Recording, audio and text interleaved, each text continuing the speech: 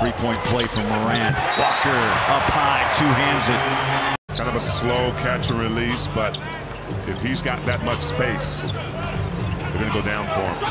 Nice pass inside, off the rim, up top, and throws down his first two ball of the night. He's got a quick five here in the quarter. Jazz deny.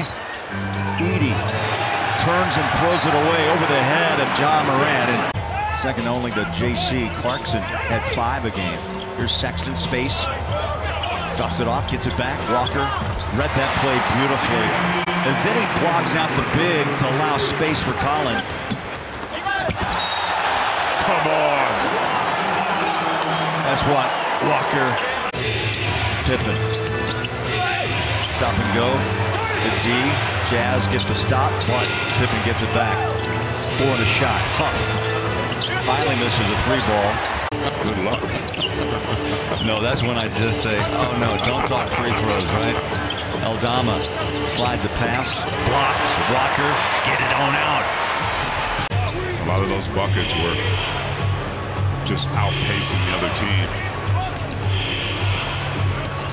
Edey blocked. Walker. Shot clock under 10. George, free throw line, Jay. Good look.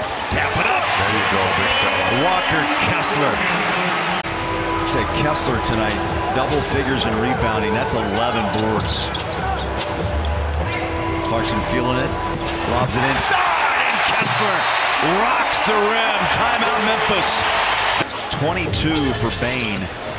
Back comes Utah. George off balance shot. Walker in a crowd. Hangs with it and scores. That's what you want from Big Walker. Dropped it, picks it back up. Shot clock at 10. Dump it down. Walker in traffic. Scoring. Ah, Walker Kessler. Oh, it's nicely done. Inside. Markkanen off the glass. Tapped in. Guess who? Kessler.